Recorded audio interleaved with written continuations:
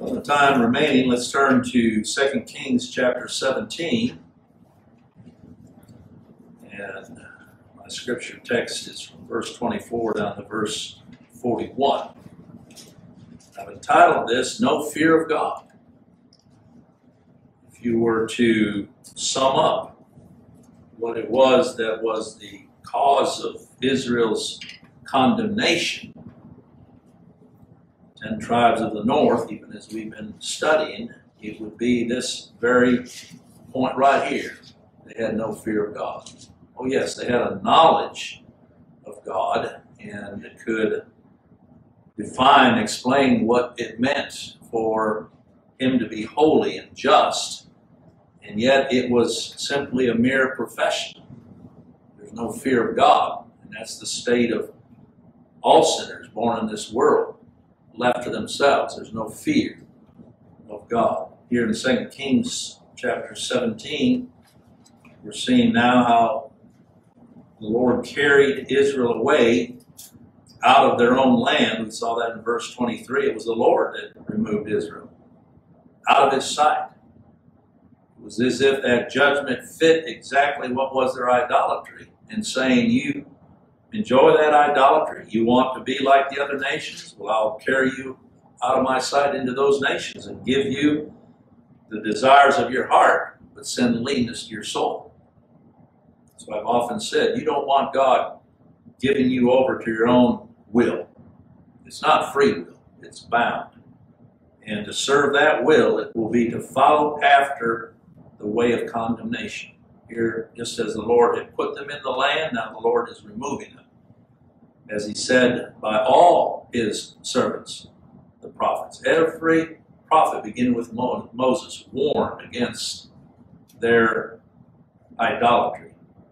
So was Israel carried away out of their own land to Assyria under this day. Assyria was a part of what would be Iraq today, up in the northern, northeast part of it. There was a king at the time by the name of Ashur.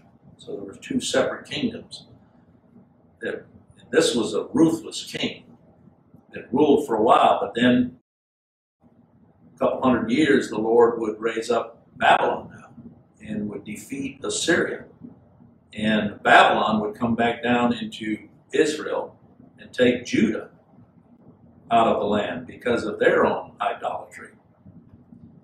It says the king of Assyria brought men from Babylon, because at that time the king of Assyria ruled over Babylon, and from Cutha, and from Ava, and from Hamath, and from Sepharvaim. These were just major cities there that the Lord had caused to prosper for this one reason, this one purpose, to come against this place of Samaria that was the center of the idolatry. It says, place them in the cities of Samaria instead of children of Israel. So this was Assyria's way of overcoming their vassal nations rather than put the people that they had just vanquished in places of responsibility. They took their own people and monarchs and put them in these places to rule over the people. And so they possessed Samaria and dwelt in the cities thereof. And so it was at the beginning of their dwelling there, notice that they feared not the Lord. The Lord was using them. He was an instrument in his hand to bring condemnation and judgment, and yet they themselves feared not the Lord. These men that he had placed in these positions, you would think, well, they vanquished them, so now all's, all is well. No. Notice, therefore, the Lord sent lions among them, which slew some of them. you wipe out entire cities as they did, the wild beasts then would begin to march through the land and seek prey because all the walls have been destroyed. And these Assyrian monarchs that they had placed in these different positions, the Lord sent lions among them which slew some of them. This was a phenomenon. All of a sudden, all these lions appear. This reminds me of Egypt, when the Lord would bring these plagues against Pharaoh and his people. Again, to show that he is sovereign. This Assyrian army, which was ruthless, had just come in and vanquished. In fact, before Samaria fell, they besieged Samaria. That's how strong that city had been fortified against them for three years. It took that long for them to starve out the people, but it was in the Lord's time. So you'd think they're the victors. They've got it. Now the Lord sends lions to begin to devour them. Lions sent from the Lord. There's nothing that takes place but what God has purposed. Notice this was among those that feared not the Lord. They had their gods. They worshiped their gods, but this is a God they did not know. And so God was getting their attention to let them know that it wasn't their gods that had given them the victory, but this Lord, even of the lions. So in verse 26, wherefore they spake to the king of Assyria, saying, The nations which thou hast removed and placed in the cities of Samaria know not the manner of the God of the land. Therefore he has sent lions among them, and behold, they slay them, because they know not the manner of the God of the land. It's interesting, isn't it? We've got to find out about this God. We've never seen anything like this where they at least acknowledged it was the God of the land that was sending these lions and disrupting their lives and their livelihood. Then the king of Assyria commanded, saying, This is where we see again people in religion and in their religious ways, they're going to seek to try to find a way to pacify God. Here it says, Carry thither one of the priests whom ye brought from thence, and let them go and dwell there. so he's thinking, all right, since this is the, the God of Israel, let's go and get one of these priests that we carried out of the land and bring him back in and let them begin to teach the people how it is they're to behave, how they're to walk, how they're to talk, so that this curse will be removed, is basically what they were thinking. That somehow God would then show favor upon them if they could just figure out what makes this God happy. And let Him teach them the manner of the God of the land. What you're doing then is taking a corrupt priest that was taken out of the land because they were corrupt and bringing that corruption back in again, that that same priest begin to teach the people. Well, you know as well as I do, all that that can do is produce more corruption. But one of the priests whom they had carried away in verse 28 from Samaria came and dwelt in Bethel. Remember, there were two places where they had placed these golden calves. One was in Bethel, in the southern part of the land, and the other was up in Dan. So here comes this priest back in the land. I'm sure the priest is probably thinking, okay, all is well. I can come back in here and I can teach people how to live. And notice here it says, and taught them how they should fear the Lord. And when you first read that, you think, well, that's a good thing. But if that priest is corrupt and he's teaching them how they should fear the Lord, do you suppose that he's going to teach them aright? You can't take a false preacher and place him among people, and that person is going to teach the people how to fear the Lord aright. Why? Because they're not going to be speaking of Christ. That's what the problem was here. They were void of Christ and his spirit. And the whole point of bringing him back was because they thought, well, we don't really know the rituals of the land.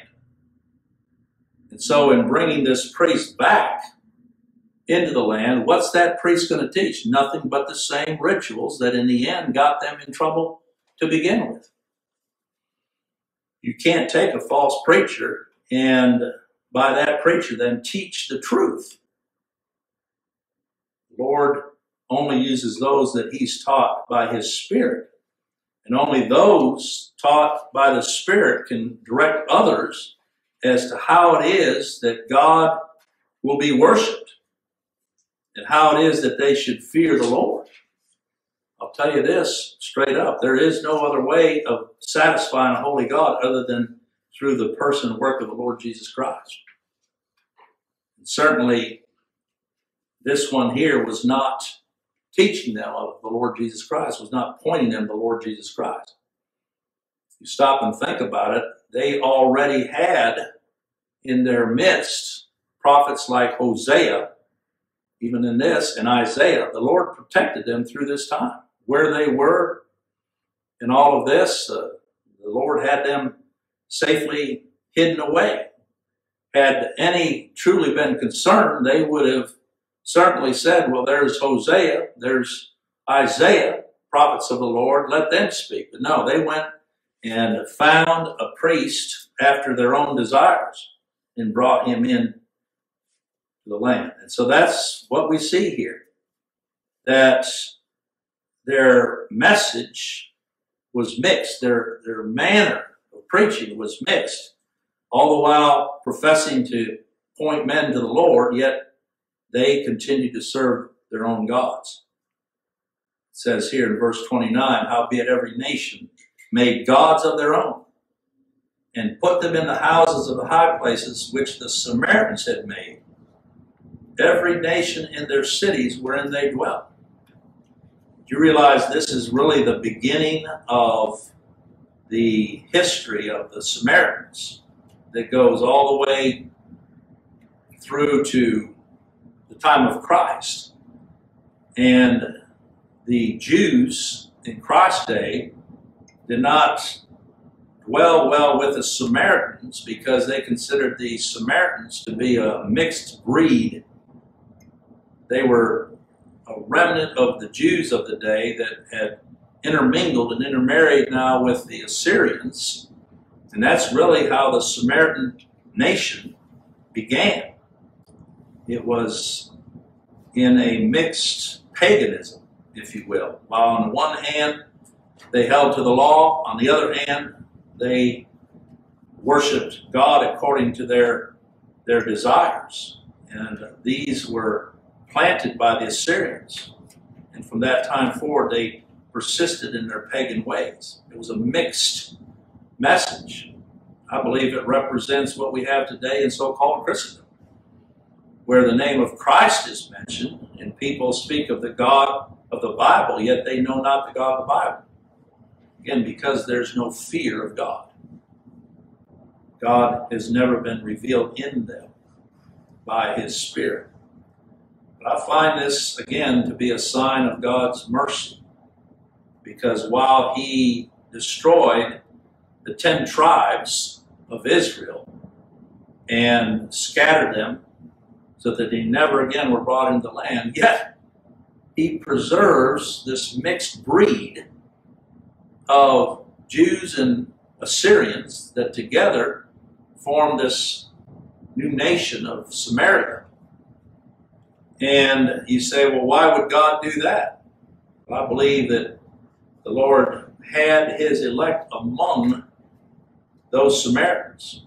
Stop and think in John chapter 4, for example. Who was it that, when the Lord said, I must needs go through Samaria? It was to meet a Samaritan woman there at the well. And the Lord was pleased to draw her unto himself. So there's a reason why God does what he does. He did not completely destroy these, preserve them even down through the years.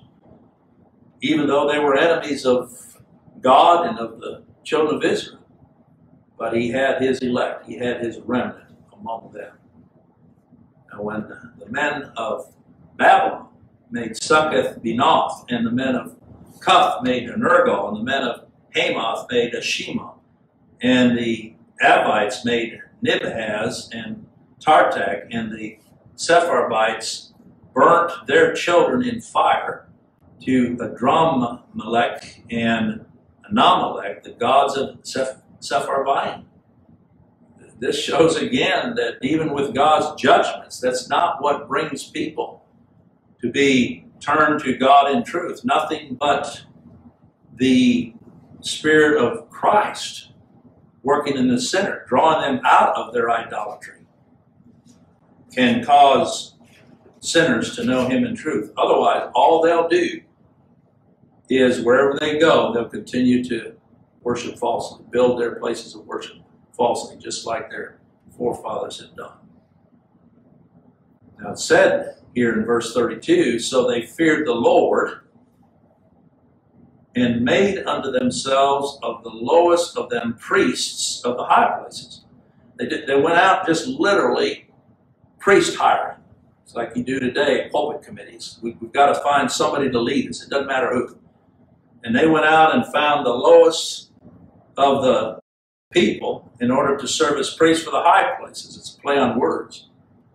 And you ask yourself here in verse 32, well, how is it that it says they feared the Lord and then made unto themselves of the lowest of them priests of the high places, which sacrificed for them in the houses of the high places? High places were, were places of worship, just like you have people today when they build up their their places of worship. They like it to be seen. They, they like it to be up in places of the city where everybody can see it because they seek the glory of men. So it says they feared the Lord, and then in verse 33, they feared the Lord and served their own gods. Well, that tells you something right there. What is the true fear of the Lord? There are some that fear because they fear his judgments. And so they continue to seek ways to pacify the Lord, all the while serving their own gods. Only the Lord knows how many today worship in places of worship out of fear of the Lord, but it's a fear of judgment.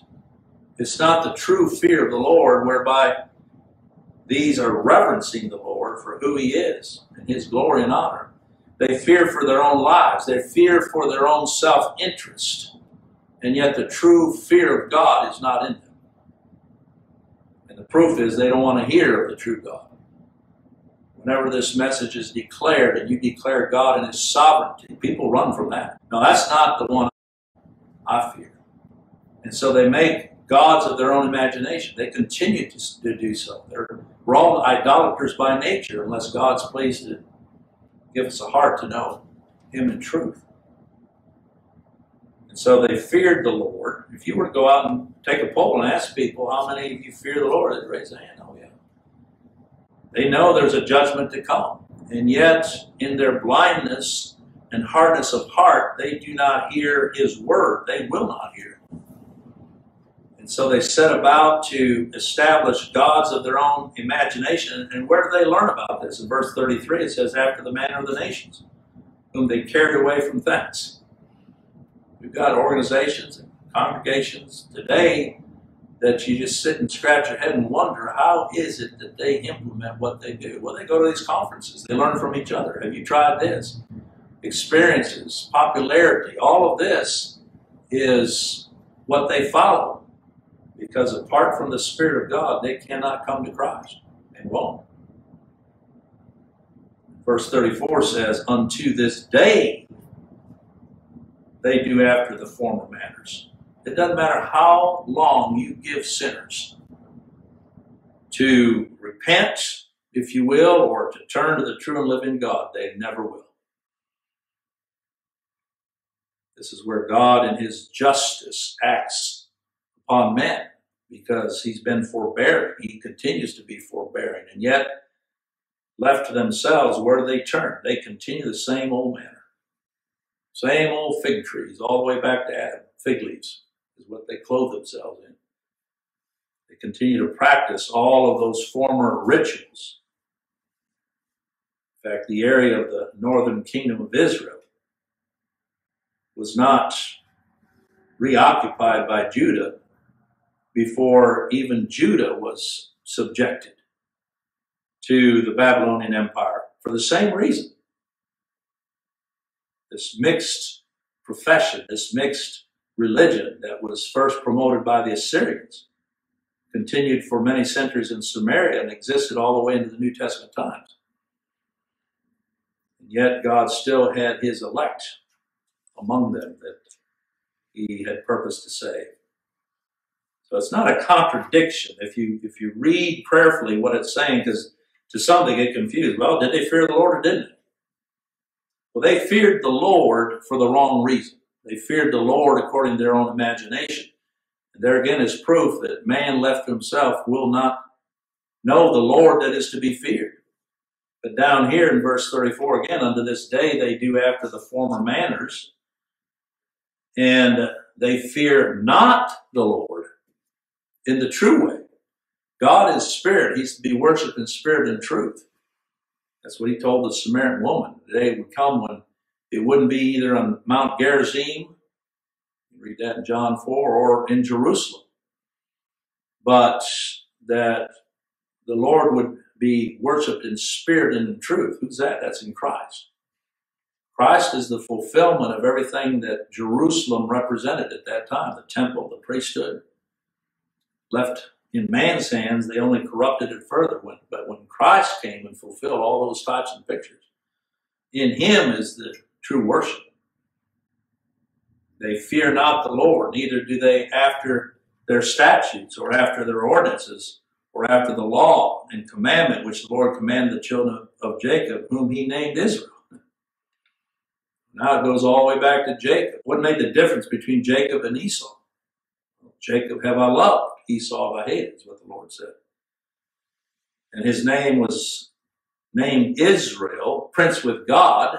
That's a representation of who that seed was that should come from his loins. Many thousands of years later, that would be the Lord Jesus Christ. But with whom the Lord had made a covenant and charged them, saying, Ye shall not fear other gods, nor bow yourselves to them, nor serve them, nor sacrifice to them. But the Lord who brought you up out of the land of Egypt with great power and a stretched out arm, him shall ye fear, and him shall ye worship, and to him shall ye do sacrifice. Where we see him, that's Christ. Only in by through the Lord Jesus Christ. And the statutes and the ordinances and the law and the commandment which he wrote for you, ye shall observe to do forevermore, and ye shall not fear other gods. There's no mixture when it comes to worship. It's either in the way that God has declared here in his covenant with his people through his son, the Lord Jesus Christ, or it's worshiping false gods. There's a lot of false worship today being done under the name of Christ, Christendom. There is a Jesus being preached, but Paul said he's another Jesus. There is a spirit. I've heard people talk about, well, it's just, it's just hard to believe that the spirit's not there. Well, the spirit is there, but it's not the spirit of Christ.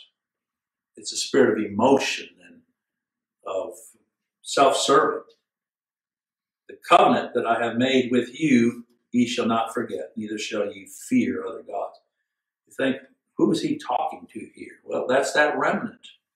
That even though these others have gone their way and God's given them over to their own reprobate minds, yet there is that remnant, as Paul said in Romans 11 and verse 5, a remnant according to the election of grace. Had it not been for God choosing out, even from among the worst of the worst here in their false religion, choosing out those that he would save, there would be none saved. We would all have been as Sodom and Gomorrah, is the way Isaiah puts it. When you're reading this as one that is an object of God's love and grace, even in the midst of all of this paganism and heathenism being done even in the name of Christ, just know that that's because God has made you to be an object of His mercy. And so the word is in verse 39 that the Lord your God ye shall fear. That's who fears the Lord in spirit and truth. It's the ones that have been taught by His Spirit and been shown their lost estate, like Isaiah, that when his eyes were open, he cried out, Woe is me, I'm undone. There's no hope in this flesh, no hope in our works or our will. The Lord your God ye shall fear. It's God himself that puts that true fear in the heart of sinners, and he shall deliver you out of the hand of all your enemies. Think about all our enemies. We're talking about spiritual now. This very flesh is an enemy. Like Paul said, the things I would do, I do not, and the things I would not do, that I do.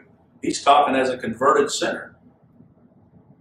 But in the end, what was his hope? Who shall deliver me from the body of this death? I thank God through Jesus Christ my Lord. When it says here, you notice the difference. But the Lord your God, that's those that have God as their God, not just in creation and providence, but salvation, as opposed to verse 40, howbeit they, all others, did not hearken, but they did after their former manner. So these nations feared the Lord. They feared in the sense of fear that he would come and take them out, fear of judgment. Many reasons why people profess the Lord today or cry out to him out of fear. They don't want to go to hell.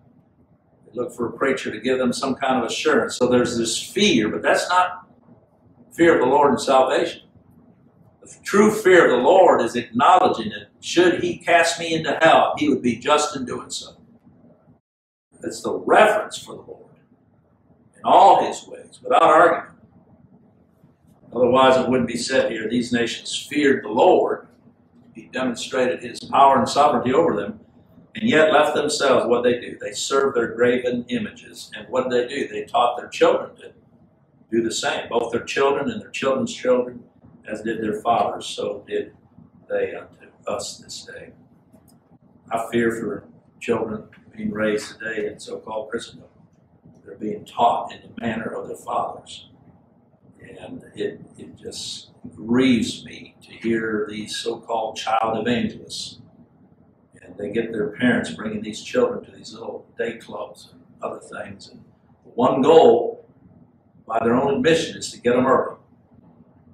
You take a little child three or four years old and you ask them, do you want to accept Jesus as your Savior. And if you don't, He'll have to send you to hell. What child isn't going to say, I want to accept Him? They teach them early to have a fear, but it's not the fear of God. It's not knowing God in truth. Better to teach the child as the Word declares, without man's persuasion or manipulation to try to get them into some profession. But I'll tell you, children are being raised this way as their former manner and they're just fodder for condemnation because it's not the true fear of the Lord. The only one that truly can teach a sinner the fear of the Lord is the Lord Himself, where in His time they're brought to see their own condemnation and cry out unto the Lord Jesus Christ. A lot there, very somber. We pray the Lord would be our teacher if he has so taught us the fear of the Lord, that we thank him